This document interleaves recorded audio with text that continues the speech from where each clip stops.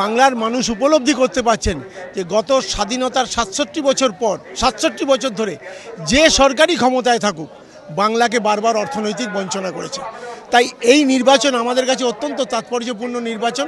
তার কারণ এই নির্বাচন বাংলার ন কোটি মানুষের অধিকারের নির্বাচন। এই নির্বাচনে বাংলার মানুষ অংশ নিচ্ছে যে বাংলার দীর্ঘদিনের অর্থনৈতিক বঞ্চনাকে গুছিয়ে মমতা বন্দ্যোপাধ্যায়কে সামনে রেখে দিল্লির মসনদে পৌঁছে দিতে, স্বাভাবিকভাবে দিল্লি পৌঁছে আমরা চাই যে বাংলার অধিকার প্রতিষ্ঠিত করে বাংলার পাওনা বাংলায় এনে বাংলার মানুষের পরিসরে বিছিয়ে দেওয়ার চেষ্টা করছি। এমন নয় যে আমি প্রার্থী হিসেবে মানুষের কাছে নতুন। এই ষোলো লক্ষ সাতষট্টি হাজার যে ভোটার দক্ষিণ কলকাতার আছে, তার অন্তত সত্তর শতাংশ মানুষের সাথে প্রতিনিয়ত যোগাযোগ আছে। আমাদের, আপনি জানেন, রাজ্য দপ্তর যে তৃণমূল ভবন, তাও দক্ষিণ কলকাতার অন্তর্গত।